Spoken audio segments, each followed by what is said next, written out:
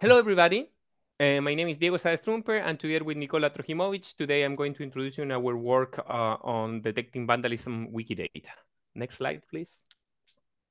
As you might all know, Wikidata is one of the largest open source knowledge graph that is largely used by our communities and also uh, used by the industry. As, as any Wikimedia project, Wikidata is a collaborative space that is not extent of vandalism and bad actors. That's why following our previous work on vandalism detection in Wikipedia, we decided to create a model that identifies content that might be reverted in Wikidata and that requires uh, human attention, especially from patrollers. So that's why we create this model that uh, Nicola is going to explain now.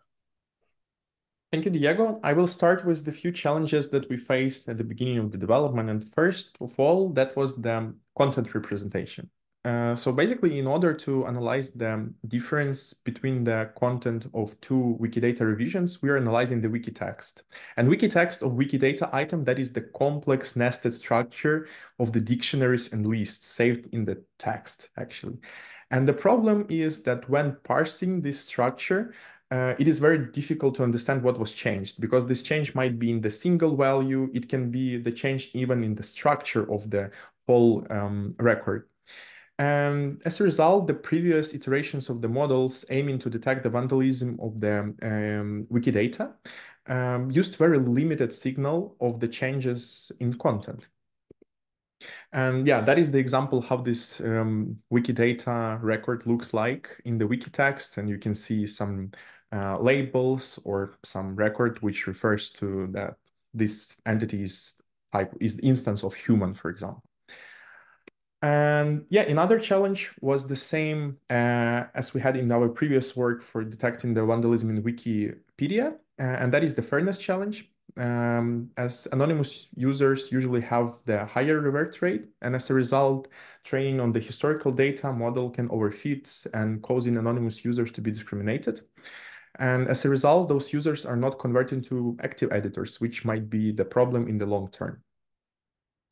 So our goal was to create the model to help Wikidata editors to identify the edits that requires patrolling. And the contributions of, those, of this work is actually presenting in new architecture of the system, presenting the methodology how to mine the fine-grained content changes features. And also we demonstrate preliminary results that shows the significant overperform overperforming the previous iteration of the models basically, let's start with the data preparation that we used for modeling. Uh, so we collected the um, uh, human-created Wikidata revisions, uh, starting from the beginning of the 2021 uh, up to the beginning of 2024. Uh, we split this in two parts. One of that was, was used for the uh, training only and another part for uh, testing. And this uh, split was time-based. So all the revisions from the 2023 were used solely for testing. And the train set was also split for the part that was used for training the mask language model and another for final classifier we use the deepdiff library to parse the differences in content in form of inserts, removes, and changes of different types of content, like the text, um, the Wikidata ID, um, time, etc. And later, uh, we map the, all the graph changes into the text using the English labels. And in order to differentiate the different type of changes for each text, we added the prefixes, add, remove, and change in order to fit, to, to tune only one uh, language model for all the types of changes. And that is how our system design looks like. And as you can see, there are three main type of features that are used within the model. The first type is revisions metadata, which are passed directly to the final classifier. Uh, more interesting are the textual changes and triple, triples modification, which are actually the changes in content. So speaking about the triples, we are mapping them into the text, and then we are processing them along, like together with the text modifications, and we are passing that to the mask language model to extract the prediction of it. That is actually the binary classifier, which was fitted to the same signal but on the separate data set. Then we are aggregating those scores by mean pooling and passing that as the independent feature to the final classification model to extract the revert score.